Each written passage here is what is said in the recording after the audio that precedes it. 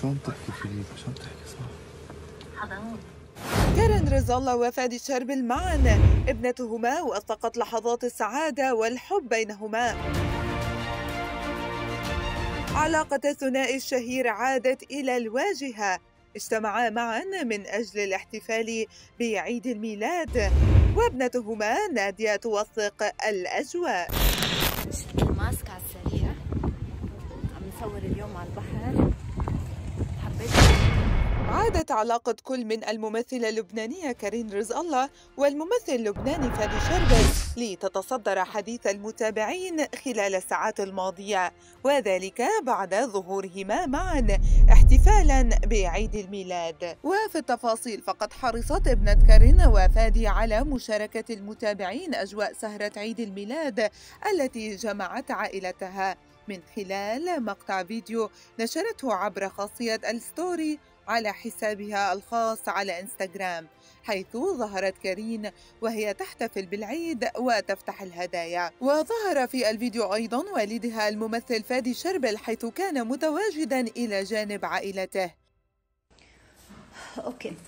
اليوم حبيبي ليه عم تبصيني؟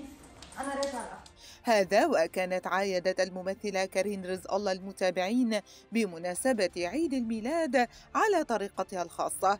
ونشرت على صفحتها الخاصة عبر إنستغرام صورة ظهرتا فيها ابنتيها نايا ونادية وهما تقبلانها.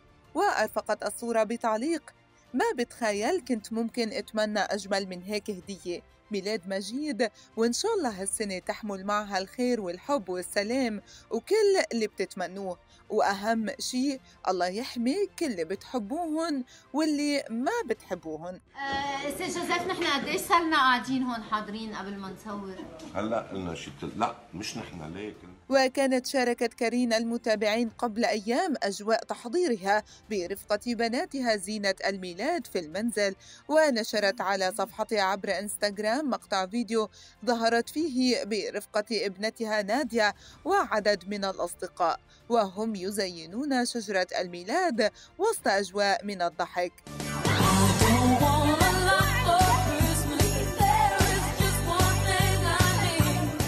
يذكر أن والد كريم كان يتصدر حديث المتابعين خلال الفترة الماضية.